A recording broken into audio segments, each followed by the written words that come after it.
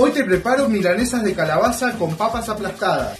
Pongo a hervir por aproximadamente media hora tres papas. También voy a pelar el tronco de la calabaza y voy a cortar rodajas de más o menos medio centímetro. Pico ajo y perejil también.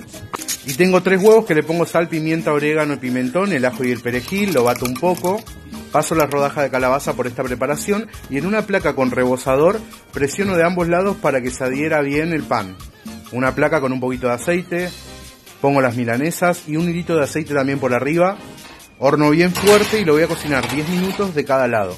Con la ayuda de un repasador presiono las papas y en una sartén bien caliente con un poquito de aceite de oliva voy a dorar las papas de ambos lados.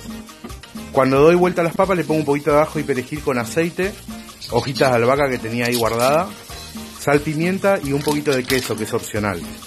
Cocino 5 minutos más y ya terminé mi plato. Le voy a agregar un poquito de salsa spicy que tiene curry y me encanta.